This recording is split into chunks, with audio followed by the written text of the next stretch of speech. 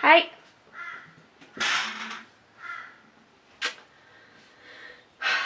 This could end really badly.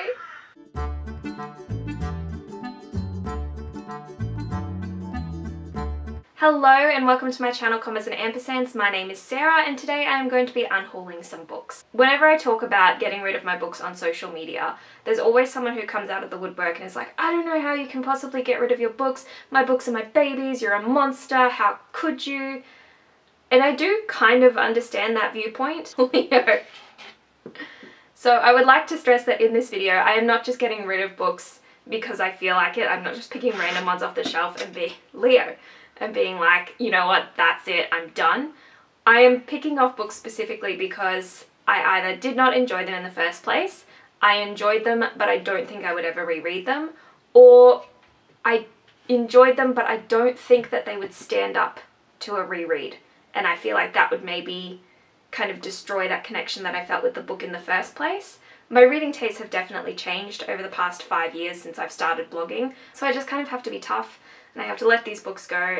Whether I sell them, donate them to a charity, or give them to friends, someone else will probably enjoy these books more than I have, so I think that's nice. I think it's nice to give them a second life. I will be going... Stop it! Leo.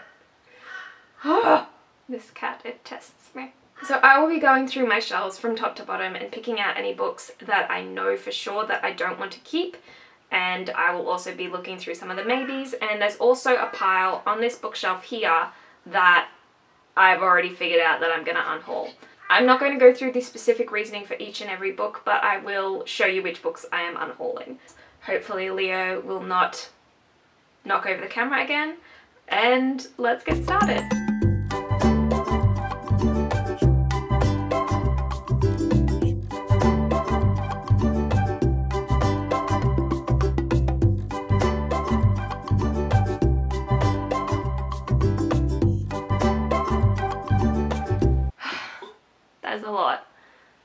Not that much, but it's still intimidating going through all of these. You can see some of it over here. These are in no particular order, I just pulled them out from wherever they were sitting on my shelves and I have several systems of organisation. That's a hot mess. Let's go. The Bright Brightsiders, Flawed, Heartless. I have two copies of this. One is from Owlcrate, that's this one, and I also have a paperback copy that I got from the YA Chronicles.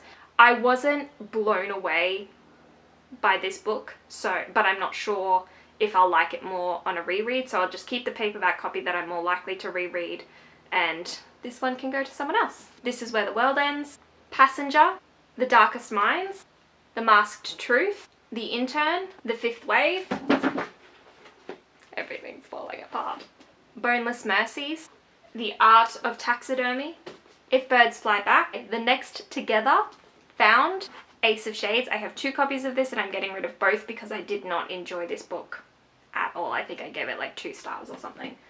American Gods. My second copy of Ace of Shades.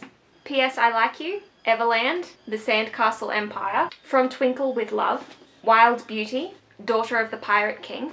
The Glass Spare. The Upside of Unrequited. Lifelike. The Cruel Prince. Copy 1. The Waking Land. Flame in the Mist. Frog Kisser. These Rebel Waves, The Secret Science of Magic, Girls of Paper and Fire, and my second copy of The Cruel Prince. This is the Owlcrate exclusive cover and if I remember correctly this is worth quite a bit of money to a mortal like me. I'm not sure about The Sky in the Deep. I don't remember enjoying it but everyone seems to love it so much and I want to give it a second chance because it is Vikings and it is cool female characters and this cover is just stunning but I don't know. I'm going to put it on the maybe pile. Maybe I'll try and reread it one day and see if I like it better or if I was just like in a mood when I read it. Moving on to the books that are over here that I had already picked for an unhaul and that were just sitting in there. Shadow of the Fox, The Bells, The Bogan Mondrian, Children of Blood and Bone, Birthmarked, Prized, Sleepy Hollow and Other Short Stories, Vassa in the Night, Zeros, The Rig, the Lake House, The Door That Led to Where, The Beast Within, A Year in Provence. I don't know if I'm saying that right. It's French. Reboot, Pinocchio, By the way, Pinocchio is an absolute dick in the original story. Winter's Tale, Seven Stones to Stand or Fall, No Free Man, Moon Chosen, Daughter of the Burning City, Witch's Pyre, The Infinite Sea, The Other Side of Summer, Freaks, Between the Blade and the Heart, Palace of Fire's Initiate, and a proof of Girls of Paper and Fire.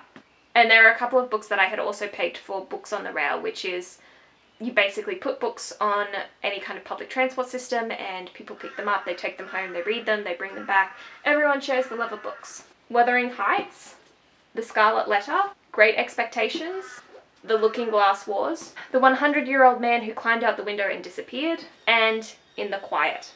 I am feeling pretty good about that. I think there's 68 books in total if I've counted correctly. I'm not sure about Sky and the Deep, so I'm going to keep that for a little bit longer. Now I have to find a place to put these books until I am ready to sell them. But at least they'll be out of my shelves so I can, any books that I do read and that I do want to keep can fit in there properly. I'm back! So I filmed that initial video on Sunday and it is now Friday and I have realized that there are even more books that I could unhaul.